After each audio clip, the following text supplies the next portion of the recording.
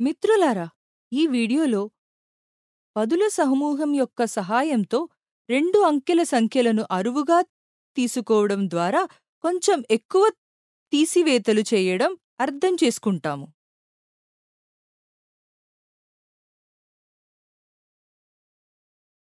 చూడండి బబ్లీ తల్లి మార్కెట్ నుండి ఇంటికి వచ్చేటప్పుడు బంటి మరియు బబ్లీ కోసం కొన్ని చాక్లెట్లు కొన్నారు.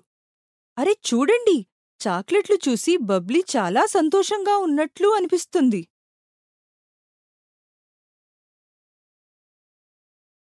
అరే భలే చాక్లెట్లు!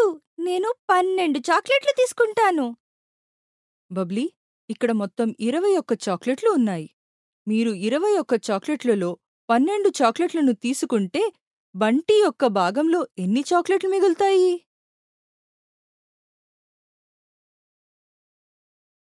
ఇది తెలుసుకోవాలంటే ఇరవై ఒకటి నుండి ఒక పది మరియు రెండు ఒకట్లు తీసివేయాలి.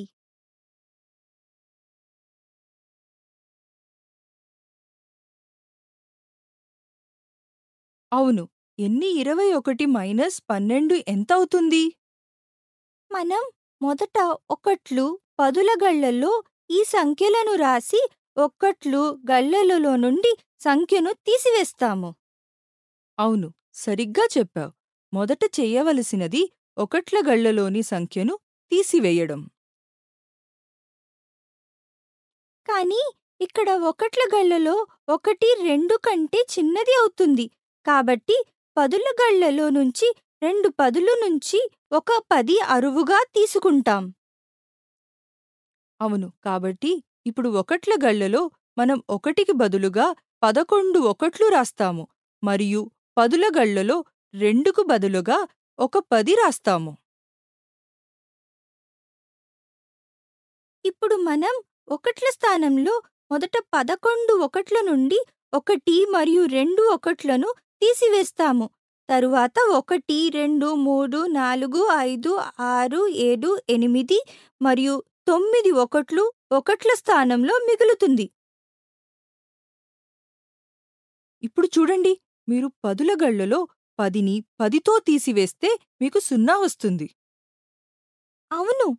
ఇలా ఇరవై ఒకటి నుండి పన్నెండు తీసివేస్తే తొమ్మిది మిగులుతుంది.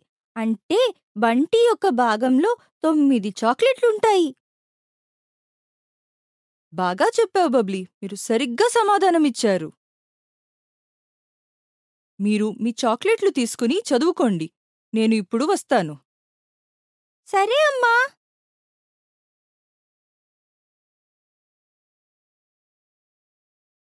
మిత్రులారా ఈరోజు మనం ఉదాహరణ ద్వారా పదుల సమూహం యొక్క సహాయంతో రెండు అంకెల సంఖ్యలను అరువుగా తీసుకుని తీసివేతలు చేయడం నేర్చుకున్నాం.